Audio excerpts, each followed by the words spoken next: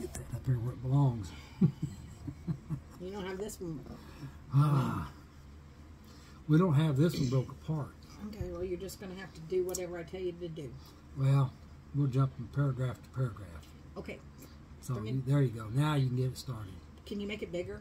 Sure. Let me spread this rascal up here a little bit. We'll just read it from paragraph to paragraph. I usually break it apart. Uh, the last video we did, I jumped ahead and I was supposed to have this one done first.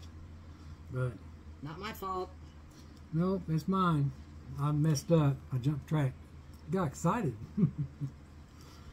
Hello, dear brothers and sisters, chosen, blessed, and deeply loved by the happy God. In Unsearchable Riches, volume 111, pages 148 through 149, by James Coram, he writes, According as it is written from Psalms 44:22, that on thy account we are being put to death the whole day. We are reckoned as sheep for slaughter. Romans 8:36. No. It is on account of God that we experience evil. And as surely as sheep are set, and as surely as sheep are set for slaughter, we will continue to be subjected to it.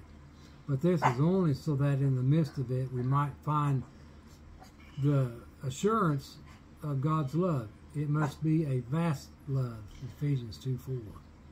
full of patience and power, for the opposition is fierce and formidable. Through all manner of things threatening, threatened, threaten to separate us from God, from Him, and do their utmost towards the end. All in all creation, nothing is able to separate us from the love of God in Christ Jesus, our Lord. in all our pains we are more than conquering through him who loves us romans 8:37 as good as it is to conquer it is far better to be inseparable from the love of god That would be terrible. it would be it would be how could you when we are conformed in sh- character to the when we are conformed in character to the image of God's Son and given a glorious body even as his own Romans 8:29 and Philippians 3:21 it will be a great understatement to say that we have conquered our failings and overcome our afflictions. As good as it is to meditate upon the marvelous and totally total victory which lies ahead it is even better to meditate upon God's present love for us and what this love portends a sign that something momentous is going to happen. His grace upon us consists of far more than the eventual defeat of sin. It is riches its riches are to be found in the realization of his love. Since God is able and since he loves us, neither life nor death, nor messengers, nor sovereignties, nor the present, nor what is impending, nor power, nor height, nor depth, nor any other creation will be able to separate us from the love of God in Christ Jesus our Lord. Romans 8 38 thir- uh, and 39. Through him who loves us, we are more than conquering. We are loved. But the Dabhar translation reads in Romans 8 35 through 37 this way Who will disjoin us from the love of God? Affliction, or straitened room, or persecutions, or famine, or barrenness, or danger, or sword? According as it is written, For your sake we are deadened the whole day, we are reckoned as sheep of slaughter. But in all these we are overwhelmingly conquered through the one loving us. Romans 8 35 through 37. What shall be separating us from the love of God in Christ Jesus? Affliction or distress, or persecution or famine, or nakedness or danger or sword? According as it is written that on thy account we are being put to death the whole day, we are reckoned as sheep for slaughter. Nay, in all those we are more than conquering through him who loves us. All right, our references start in Romans 8 38 39. For, oh, we just read that one. Is that the one we just did? For I'm persuaded that neither death, nor Uh-huh. life, nor messengers, nor sovereignties, nor the present, nor what is impending, nor powers, nor height, nor depth, nor any other creation will be able to separate us from the love of Christ, love of God in Christ Jesus our Lord. Romans 5 2 through 5. Through whom we have the access also by faith unto this grace in which we stand, we may be glorying in expectation of the glory of God. Yet not only so, but we may be glorying also in afflictions, having perceived that affliction is producing endurance, yet endurance testiness, yet testiness expectation. Now, expectation is not mortifying, seeing that the love of God has been poured out in our hearts through the Holy Spirit, which is being given to us. 2 Corinthians 4 15 through 18. For all is because of you, that the grace increasing through the majority should be superabounding in thanksgiving to the glory of God. Wherefore, we are not despondent, but even if our outward man is decaying, nevertheless, that within us is being renewed by day, day for, by day. For the momentary lightness of our affliction is producing for us a transcendently transcendent Aeonian burden of glory, and are not noting what is being observed, but what is not being observed. For what is being observed is temporary, yet what is not being observed is Aeonian. 2 Corinthians 6 3 through 10. We are giving no one cause to stumble in anything, lest flaws, flaws be found with the service, but in everything we are commending ourselves as servants of God, in much endurance, in afflictions, in necessities, in distress, in blows, in jails, in turbulence, in toils, in fasts, in vigils, in pureness, in knowledge, in patience, in kindness, in Holy Spirit, in love unfeigned, in the word of truth, in the power of God, through the implements of righteousness of the right hand and of the left, through glory and dishonor, through defamation and renown as deceivers of truth. as unknown and recognized, as dying, and lo, we are living, as disciplined and not put to death, as sorrowing, yet ever rejoicing, as poor, yet enriching many, as having nothing and retaining all. 2 Corinthians 11 21 through 28. By way, oh, I'm going to, yeah. By way of dishonor am I saying, as that we are weakened, now in whatever anyone is daring, in imprudence am I saying it, Am I also am daring. Hebrews are they? I also. Israelites are they? I also. The seed of Abraham are they? I also. Servants of Christ are they? Being insane, I am speaking. Above them all, above them all am I. In wear- weariness more exceedingly, in jails more exceedingly, in blows, inordinately, in death often. By Jews five times I got forty save one. Thrice I am flogged with rods, once I am stoned, thrice I am shipwrecked, a night and a day I have spent in the swamp. In journeys often, in dangers of rivers, in dangers of robbers, in dangers of my race, in danger of the nations, in dangers of the city, in dangers of the wilderness, in dangers in the sea, in danger among false brethren, in toil and labor, in virgils also, in famine and thirst, in fast often, in cold and nakedness, apart from what is outside, that which is coming upon me daily, the uh, solicitude, uh, which means mindfulness or awareness for all the ecclesia. Wow, that's a long list of stuff, ain't it? He went through a lot. Paul went through a lot. I ain't went through nothing. yeah, we look around. What have we gone through? 2 Timothy 1 8 through 12. You may not then be ashamed of the testimony of our Lord, nor yet of me, his prisoner, but suffer evil with the evangel in accord with the power of God who saves us and calls us with a holy calling, not in accord with our acts, but in the purpose of his own but in accord with his own purpose and the grace which is given to us in Christ Jesus before times Aeonian.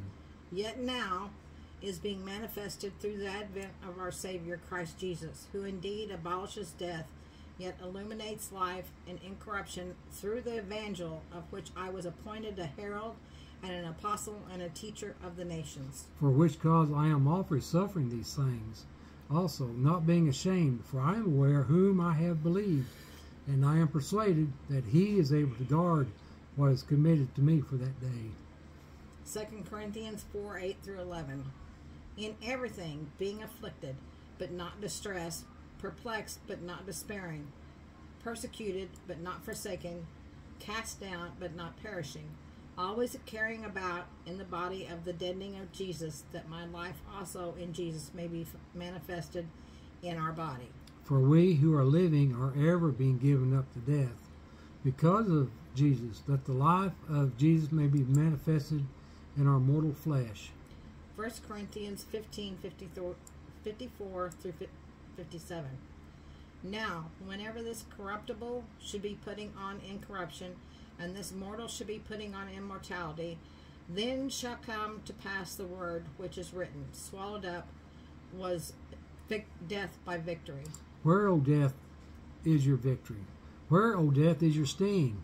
Now the sting of death is sin, yet the power of sin is the law. Now thanks be to God who is giving us the victory through our Lord Jesus Christ. Romans 8 15 through 18.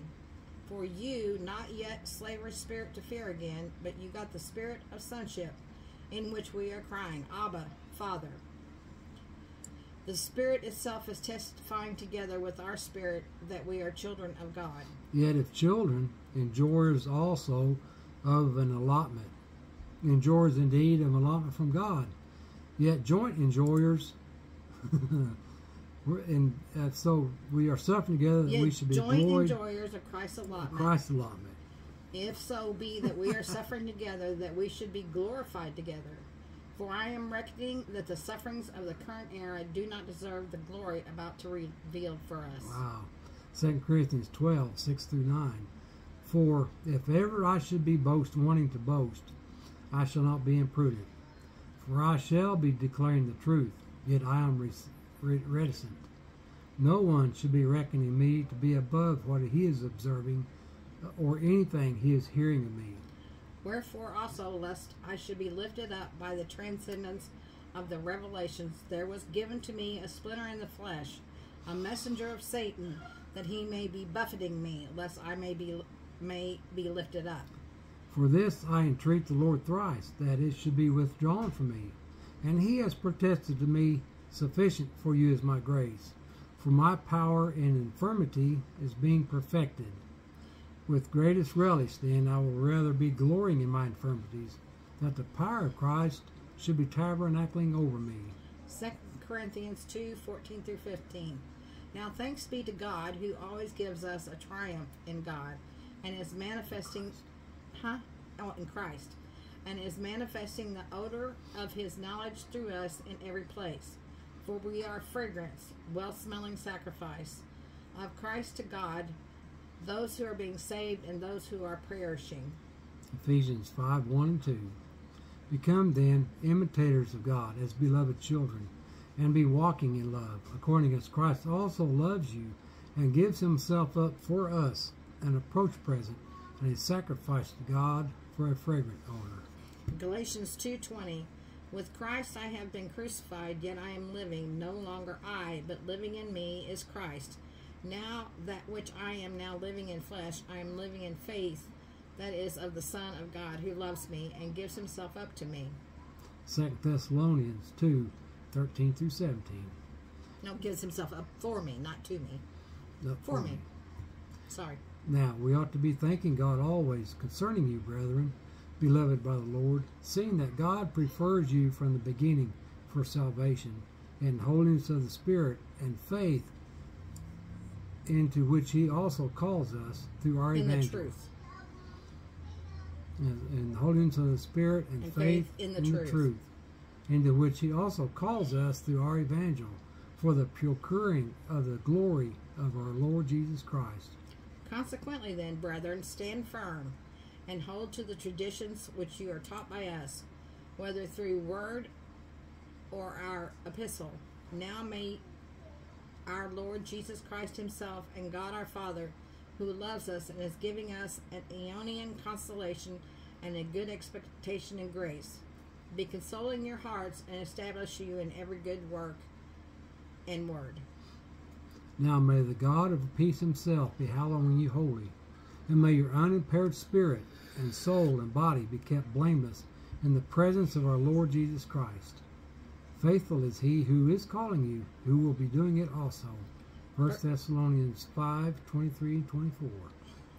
We love you all. Grace to you and peace from God our Father and our Lord Jesus Christ. Are you doing that, putting this one first? No, I got the other one already listed as being first. Oh, okay. Well, anyway, my mama is uh, in a rehabilitation place right now, and so I dearly, dearly appreciate all the prayers and thoughts you had for us Yeah. and for her. Yep. It's been a rough go, let me tell you. We got this video, the one, the next verse up. This is uh, 35 and 37. We just did 38 and 39. Not my fault. so anyway, we got I'm them. We'll just put them up and and we'll get them together. So anyway, I'm wore out. I love you wore out. guys, and uh, we appreciate Judy and Alicia and Sterling helping us put these together. Yep. Uh, don't mention them enough. They're a big help in putting these together. And I appreciate Marcia helping me read them.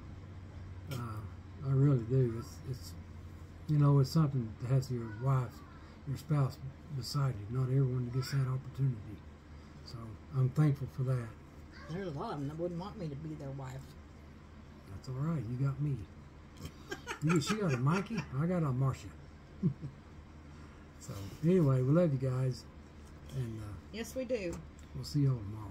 Lord willing, if we're still here, we'll talk to you then. Love you much. Bye for now. Bye.